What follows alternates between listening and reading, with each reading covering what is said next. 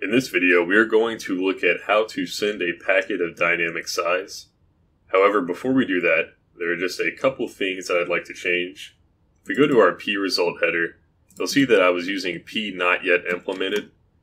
This is not very clear on what this means because we could have something not yet implemented and it means something completely different from this because maybe we do plan on implementing it. So I'm just going to do a find and replace. I'm going to replace not yet implemented with generic error. And I'll just do a replace all. Alright, and that should uh, fix all the occurrences. So now we'll just use generic error instead of not yet implemented. And one other thing is if we go into our socket header, for send, we really should be using a const uh, void pointer here because send should not be modifying the contents. And the same with send all. So let's just modify the definitions for these. Change that to const, and then for send all, change that to const. Let's go back to our client source.cpp and look at where we are sending our buffer. So we're creating a char buffer of size 256, and then every single iteration, we're just trying to send this to the server. Now, what if we wanted to send a string that was not size 256? Like, you know, maybe it was much smaller or maybe even larger.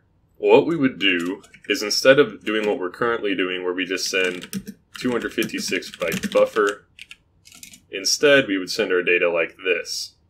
We would first send a 4 byte unsigned integer. So what we could do is we could send a 4 byte unsigned integer containing the buffer size, and then we could send the buffer. This way, if our buffer is only 1 byte, we'll end up sending 4 plus 1, 5 bytes. And this will also, of course, support uh, sending strings larger than 256 bytes. So let's change our setup a bit for this. First off, I'm going to make a string to store our buffer. I'm going to uh, take out the condition checking in the while loop and just break out if something doesn't work right because we'll have to have two sends here. So we'll say while true, and first we want to try to send the buffer size. So what we will do is we will create an unsigned integer, and I'm using an integer that takes up 4 bytes, which is 32 bits. We'll call this buffer size. We'll set it equal to buffer.size. Now we want to send this integer. Before we actually send this integer, we need to make sure that we convert it from host byte order to network byte order, because since it's an integer, we have to take the endianness into account. So what we'll do is we'll convert it right here before we send it. We are converting a 4 byte integer, which is a long, so we're using host to network long, and we're converting it from host to network byte order before we send it. In this way, it will be in network byte order when we send it uh, across the stream. After we try to send that, we'll see if result was successful. And if it wasn't successful, we will break out. And now we need to try to send our buffer. So what we will do is we will pass in the pointer to where our buffer starts, which we can get that with the data function on the string class. And now we need to pass in the size of our buffer. So we can get that with buffer.size. Now in case it's not clear why I'm using the size function from the string class here instead of our buffer size variable, is because after we convert it from host to network byte order, we can't guarantee that it's in the uh, right format for our specific machine. So if we wanted to use buffer size right here, we would have to convert it back. So we would have to do something like this before we could use buffer size for this argument. And of course, I don't want another unnecessary line of code, so I'm not going to do that. Next, let's just set some text for our buffer. And now let's go and modify the server's code. So the first thing we'll do is we will change it from a char uh, array to a string. And also, I didn't realize this when I had made the previous tutorial, but this while loop is not actually like this while condition would never be checked because if result is not success, we're breaking out right here. So we would never come back up here and have this happen. So I'm just going to set this to while true and rely on our results to break out. First, we need an unsigned integer to store our buffer size. and we are going to receive into this variable. Once we get to this line of code, we should have our buffer size loaded in, but we need to convert it from network byte order to host byte order in order to use it. So now we have it in host byte order and we are ready to receive our strings buffer. So we will do another receive all, and this time we want to copy the data starting at the first character of the string. But before we can do that, we have to resize the string to be able to fit the data. So we will resize that to the size of buffer size. And now when we receive it, we're just going to start copying at the very first character of the string. So we'll pass in that address.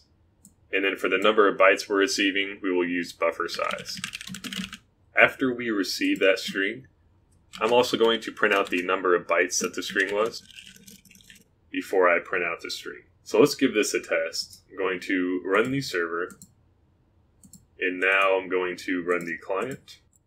And you'll see what we get is we get hello world from client, and we get that it's only 24 bytes. So that appears to be working correctly, and this seems fine and everything, but there's one giant problem here and that is that we are not doing any sanity checks when we try to receive this data on the server. Now, the client could have either programmer error or maybe somebody has a hacked client or they wrote a hack to, you know, manipulate the packets, whatever. But we shouldn't just trust that the buffer size that comes in here makes sense.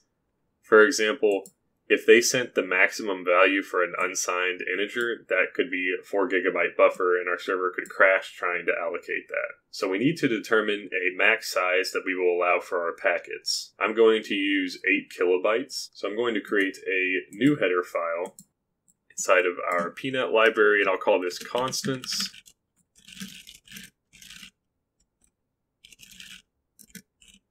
We will have a global variable for our max packet size and we will have that be 8 kilobytes.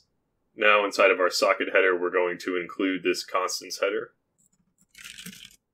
Now that we have the constants header included in socket, inside of our server source, what we could do is before we resize the buffer, we could verify that the size makes sense. We'll basically say if the buffer size is greater than our max packet size, then we'll break out and we'll close the connection. And just to test this, I'll go into the client and we'll just generate something that's big enough for this. So we'll do buffer. We'll do one byte bigger than the max packet size. And we're just going to set all of those characters to the letter A when we send it. So let's run the server. Now let's run the client you'll see we got new connection accepted, and then we got on to press any key to continue because when the client tried to send that data, the server said, hey, that packet's too big, and it broke out of the while loop and then closed the socket. In the next video, we are going to begin creating our packet class, which will allow us to easily insert and extract data to and from a packet before we send it over the stream.